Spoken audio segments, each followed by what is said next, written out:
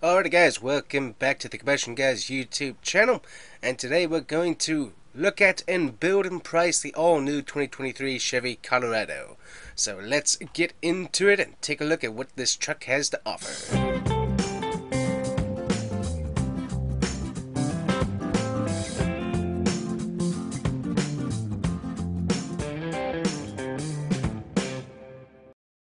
Alright guys, so thank you for coming along and watching this video. Hopefully you pardon my voice as I probably have some congestion going on. But other than that, uh, let's get into this video make sure to hit that like and subscribe button. It helps out the channel a whole lot. So if we take a look right here, so we see that the WT and LTs, uh, you can get those in two-wheel drive or four-wheel drive.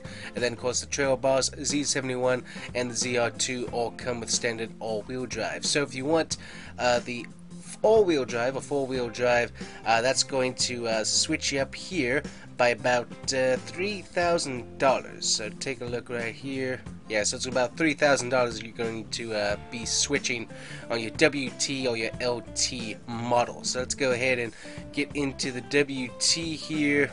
We'll look at the exterior. Uh, we got the Summit White. We got the black Sterling Gray. This is the Harvest bronze metallic, which suspiciously looks like a uh, olive drab in metallic. Looks pretty good. Sand dune metallic. Uh, not a big fan of that one. Not too bad though.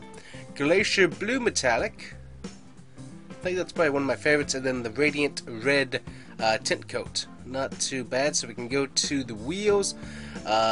For this is the WT option, we're going to get the Ultra Silver Metallic Steel Wheel. And I forgot I have this button up here that I can press. I don't need to go down here. Uh, we got Jet Black Cloth or Jet Black Evo Tech Seat Trim. Not sure what that is, but that's an extra $1,200 option there if you want to get into that.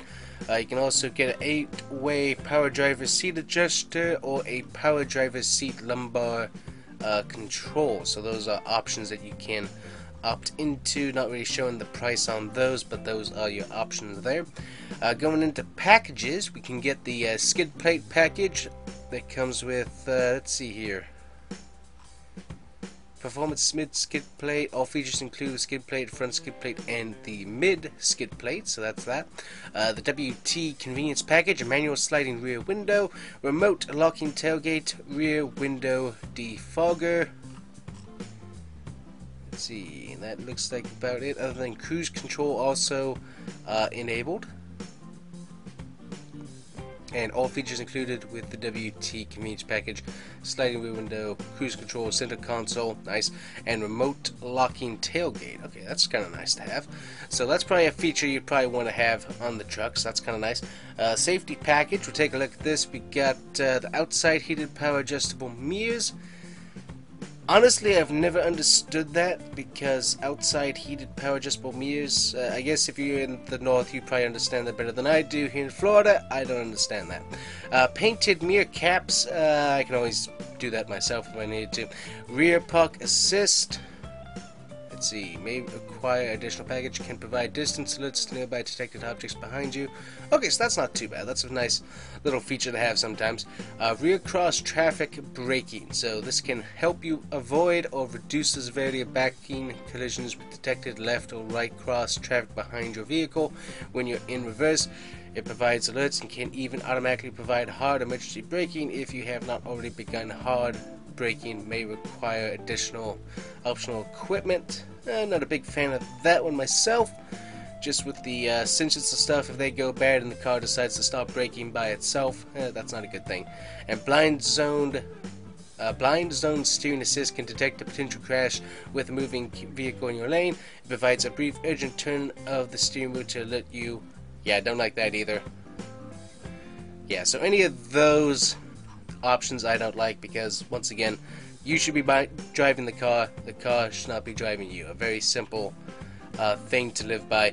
Uh, Eight-way power driver seat adjustment. So here's that package: power driver seat lumbar control and tailgate uh, keyed cylinder lock. So that's a $545 package there.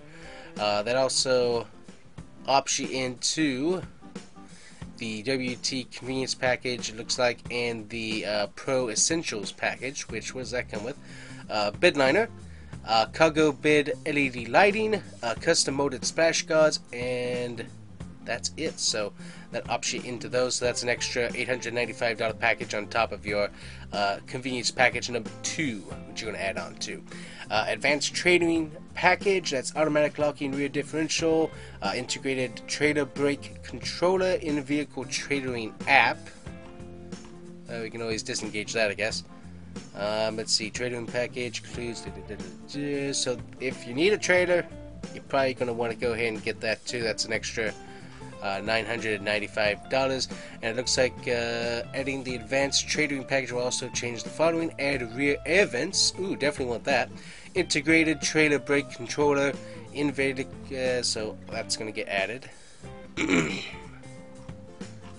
So that took out the pro essentials but added yeah I'm not sure how all that's working but anyways it is. Then the technology uh, package. So I guess you go from this to that. I'm not sure why that switched but it did and then what's this? So this is the features of the package. Tailgate keyed cylinder lock. So some of these have overlapping uh, sy uh, systems uh, options. Adaptive cruise control can automatically maintain a driver selected gap time from the detected vehicle you're following while you steer. That's weird. Uh, rear pedestrian alert. HD surround vision. All features included, so we can skip that as well. Alright, so that's, uh, what does that put us at? I'm not seeing a total. There we go. $34,000 so far. Then we go into options here. Uh, custom molded splash guards. So a lot of these are so that you can get the front license bracket. Don't need that. Uh, cargo tie down rings. Need those. Uh, the black bow tie. That would be nice my black name plates. That would also be nice. A tailgate decal package. That's nice, thank you. Uh, you can also get uh, cargo LED lighting for an additional fee, it looks like. So I guess we add that afterwards. Uh, quest package, spray on bid liner, uh, soft roll up cover, the hard folding cover, the um, black off road assist steps. See if we can add that. We can. And so getting that's just a bunch of the extra stuff that you can add on there later on. But uh, so that's just the basic packages you can put on there, and that's going to put you at about thirty-six thousand dollars for eighty. So not too bad for the WT. So we'll go back here and take a look at the trims. So LT, that's going to continue, but LT save. Nope, we'll just go to the LT here. So what I want to see, so we also have two engine options, though that's just for the all-wheel from the all-wheel drive to the other. That's what your difference is there. So I think now you can switch. You can switch the engine options. So you got the 237 and the 310 uh, 2.7 liter turbo engine. Uh, options. I didn't notice that at first, but you do have that. Uh, same colors as before. Wheels, you get another option. You get a 18 inch over a 17 add manual tilt and telescoping. Okay. So that's going to add a few things there. We get some tire options that we could always add and wheel locks you get those on there as well. And so you got the cloth seats so that's staying the same. Uh, you are getting a few more basic options on the interior. So that's certainly nice but still cloth seats. So everything rear center armrest that's now available outside heated power adjustable mirrors, driver seat back map pocket, nice. So all that little stuff is added on. There's, just nice little things that you can add in. Right, so not a whole lot of difference there, so we'll move on to the next trim here, the Trail Boss. let's take a look here. So we got Summit White, Black, Sterling Gray, Harvest. We'll go ahead and take a look at these, see how it looks with the styling. And the white definitely looks pretty good with the blacked out grill and accents. And then all black, I mean, that just looks really mean. Looks really good. Uh, we got the Sterling Gray, that looks excellent. Uh, the Harvest Bronze, that looks pretty good. Sand Dune, eh, not my favorite. We got the uh, Nitro Yellow, that looks pretty nice. Uh, the blue looks excellent, and uh, so these right here are also like 400 to 500 dollar options as well. So keep an eyeball on that. Uh, we got ourselves what appears to be five different wheel options. Uh, we can we start off with 20s. We can go to 20s, and that's going to add a few different packages as usual. That definitely looks pretty good. Uh, we can also go with uh, 20 aluminum high gloss. That changes up the pattern just a little bit, and then we can also go with 22s. So let's see if we can take a look at the exterior with the 22s on, and there you go. That doesn't look too bad, honestly. And imagine if you load it just a little bit, uh, that would look like a nice little round the town uh, truck. Looks pretty good. So let's take a look back with this real quick. So there we go. Back to the 20s, and that's what the 20s looks like. Do like that? Looks pretty good. And then back to the other 20s here. Back with the styling. Uh, we want the exterior, please. Thank you. Looks pretty good. Like it. Uh, let's see. Tire options, wheel locks. That's all that we got there. Uh, we still have cloth seats. We haven't even gotten to any leather yet. That's kind of interesting. Uh, so nothing really different there. The Trail Boss convenience package looks about all the same. Looks about all the same. Advanced Trailering Technology package, adaptive cruise control. So not a whole lot. We got the Dock Essentials package, so that's going to get you uh, the dock, the blacked out uh, logos package. We got the Flex Utility package that comes with the cargo tie-down rings, uh, reconfigurable bid rails, and flexible off-road splash guards. Ooh, that's kind of cool. And also, uh, yep. Ooh, okay, that's neat like that package. That's pretty cool. So that's going to put you at about $43,000 so far. Options, uh, tailgate, you can get the key cylinder, uh, cargo LED bed lighting. Got to see data for pricing on that one. Right, so that's good. Uh, easy lift, power gate, uh, bed liner with integral storage compartments. Uh, you can also get the tailgate, uh, decal package, and etc also get your off-road uh, assist steps. Now, do these assist steps show up? That's what I want to know. Yeah, there they are. Looks good. I, ooh, what's the bed? Let's take a look at the bed.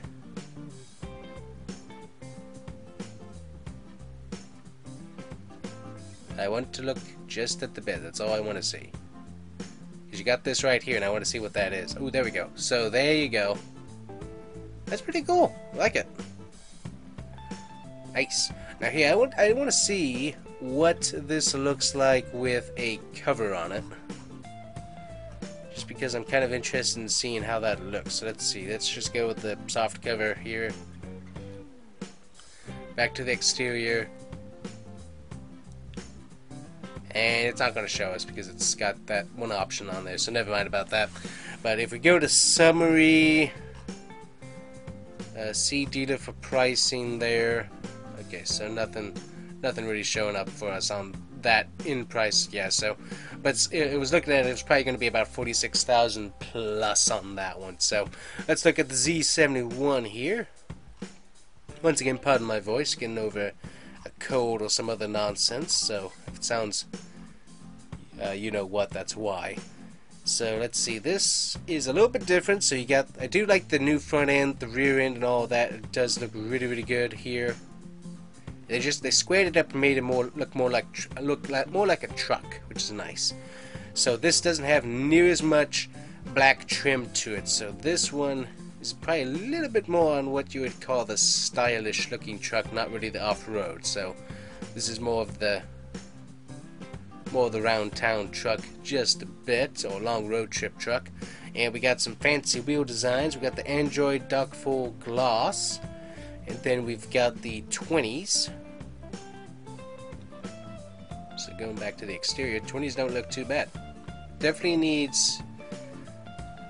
Yeah, with this right here, you see how you had the highlights? You just need like a little bit more black and chrome throughout here to really match up with that, in my opinion go back to this. I don't know. It's like unless I don't think the wheels are really matching up that good for some reason. I don't know. Not liking it. Uh, let's see. Did we get to any leather? We finally get to leather. So we'll go ahead and add that. That's going to be about a $3,000 package, I think I saw. Seatbelt color. Da, da, da. Nothing much in there. Uh, advanced trailering package, technology package, everything else package, all the basic stuff there throughout. Uh, go ahead and add skid plates Do the flex utility. Let's see, add, add, add. Yep, okay.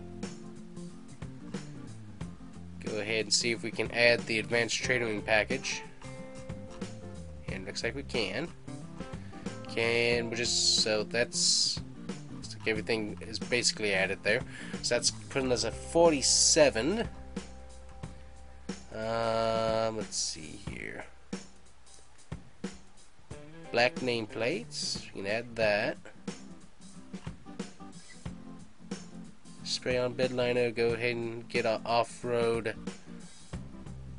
There we go. That just popped on, so that should look pretty cool. A hard folding cover. The power sunroof. Don't really need that because that can cause you some major leaks later down on the road. So let's take a look at the exterior. That's putting us at 49,000. And there it goes. Looks pretty good. I see, yeah. So with that, it just adds a little bit more black with that package, and it just looks it looks better for some reason. Just it doesn't look as good when you have just the blue fenders on there. It looks a little bit better when you do just a little bit more black out. It just looks just that tad bit better for whatever reason. I don't know why. Nice, like it. I like it. They did a good job finally restyling it. The interior, honestly, I haven't been able to sit in it yet, but it feels basically the same as the old one. So uh, that that's definitely a little bit more difficult. Not not not a, not a whole lot of change there. Alrighty, so same colors once again. We'll go with red for this one. Actually, no, let's switch it up. Let's go with yellow. Yellow truck. So we got the uh, red line inside the Chevy logo, which is kind of neat. And so, ooh, hello. So we get the graphite with oxide gold aluminum wheels. Those are 17s. And then we got the beadlock capable. This is for the Desert Boss. Those are the Desert Body Boss uh, package here. Okay, we can see from there they added a lot of stuff. You can see right here. Let's look at the exterior. Hello. And I don't like the uh, color options. Let's look and see what it does with Sand Dune. Hey, ooh. Okay, that actually goes together really well. It gives me a little military truck vibe. I like it. Let's take a look around this thing. Ooh. Yep, I like it. Ooh, ooh, ooh, ooh. Hello, hello, hello, hello, hello, hello. I like that very much. Ooh, I like it. That is cool looking. I like that very much. Let's see. Does see what it looks like in the other colors. Eh, nope, that doesn't work for me. Nope. You might be able to get away with it with the black. Let's see here. Eh, if it was a matte black, yes. That's the problem with the gloss colors. Sometimes the gloss colors just don't do it quite as well as they should. Or metallic. Eh. We gotta go with sand dune on that one. That does look the best. Okay, dokie. So, uh, past the wheels. Um, I think that's your best wheel option right there. That looks the best to me. Uh, let's see. So we already got the perforated leather seats. We got those options. Yellow seat, white on earth. So we have tan accents on the outside. Why are we putting yellow seatbelts on the inside. That's just weird. I don't know who thought that was a good idea. That seems very strange. Uh, Flex Utility Package. Let's see, can we add this without removing anything? Uh, nope, that will remove that package. We don't want to do that. Uh, so we're already at $60,000 recovery package. So yeah, so the Desert Boss Special Edition. So let's take a look at what this adds. So this adds the uh, the decal package. It adds the black name plates. It adds the 17 steel transit wheel. Uh, 40 inch off-road roof light bar with the light bar on there. Tailgate decal package. The bed mounted sport bar, which looks great. Uh, the off-road front bumper with safari bars. That's that right there. Looks good. Uh, beadlock capable wheels with tech bronze decorative ring. Looks good. The underbody cameras. Ooh. That's pretty cool. So that's all your features right there. Power distribution box, rear body side, underbody camera. Neat. I like it. I like that very, very, very much. That is neat. And then we have some options we can go to. So that's added. We can get removable off-road assist steps. Uh, we can add the 30 inch off-road front grill bar. Yes, might as well have that on there as well. Um, if we can add that. Okay, that's not going to remove everything. Good, that's nice to have. Uh, flexible off-road splash guards. Let's see if we can add those. Front license plates. Sale. Okay, so let's take a look at it here.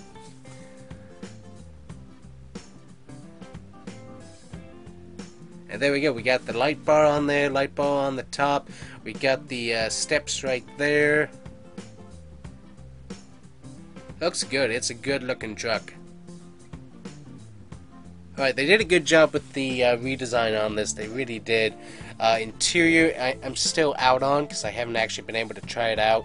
Uh, because I know what the one thing was is that it is very hard to get into with without these steps on there, and even so, uh, the steps are extremely uh, thin, so it's still very hard to get a good step on it. And also, they don't actually have uh, with the previous model, anyways, not necessarily this one. As I said, I haven't been inside this yet. Um, they don't have, from what I remember, anything right here, like on this, um, or whatever you call it, the pillar, or the front pillar here. There's no hand grip. There's nothing to grab onto when you're going in and out. So that makes it a little bit difficult to be able to hoist all the way up, depending on what the stance is of the truck. So that's one thing that I found very difficult, and I think Todd found it difficult too, is getting into the back seat because with how thin it is, you do need to be able to have something to hold on to in the back. But uh, exterior wise, they did a great job with this redesign, so I like that very, very much. So good job on that to them. Alrighty guys, so that is the Chevy Colorado, the brand new version, and let me tell you, it looks really, really good. Liked how they redesigned it finally. So hopefully you guys enjoyed today's video. We're going to see you guys here next time with another Hunting Cars Online, and uh, we will see you guys here next time. Make sure to hit that like and subscribe button, and we'll see you guys, as I said, next time. Bye-bye!